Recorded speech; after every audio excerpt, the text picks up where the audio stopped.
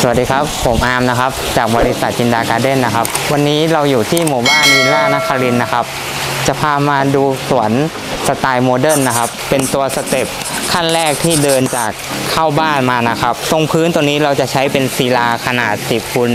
40 สีเทา และยก step ขึ้นมาอีกขั้นหนึ่ง เพื่อจะเดินไปสู่ในโซนที่ 2 นะครับตัวนี้ก็จะใช้เป็นบล็อกศิลา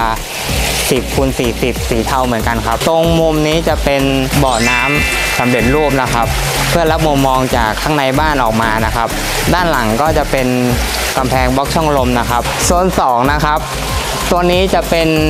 พนักพิงหลังนะครับ ยาวไปตรงจบตรงนั้นนะครับ ตรงนี้จะมีกระบะปลูกต้นไม้ ต้นนี้เราใช้เป็นต้นพุทธกังหันนะครับ ส่วนตัว ที่เป็นพนักพิงนะครับ เราจะทำการลบมุมทุกส่วนเลยนะครับ เพื่อให้สามารถใช้งานได้นะครับ เพราะบ้านหลังนี้มีเด็กน้อยนะครับ ส่วนตรงบริเวณที่นั่งตรงนี้นะครับ เราจะใช้เป็น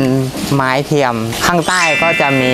เป็นกรวดแม่น้ำสีฟ้าเทานะครับ ตรงบริเวณนี้จะยก step ขึ้นมาจากพื้นหน้าบ้านเพื่อเป็นสนามหญ้านะครับ ต่อมาตรงบริเวณนี้จะเป็นพื้นที่เชื่อมต่อไปตรงบริเวณข้างบ้านนะครับ ตรงบริเวณนี้จะใช้เป็นแผ่นเวนโทล่า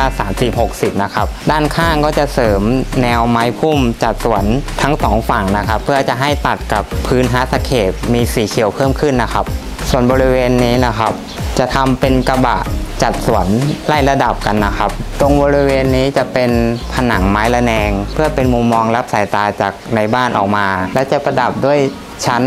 กระถางตกแต่งนะครับ แล้วก็จะมีเล่นไฟตามช่องนะครับ โซนนี้จะเป็นโซนที่เชื่อมต่อไปทางหลังบ้านนะครับ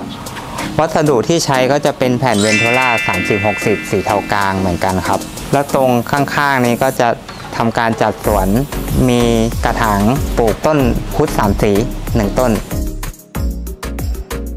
ในส่วนความต้องการของลูกค้า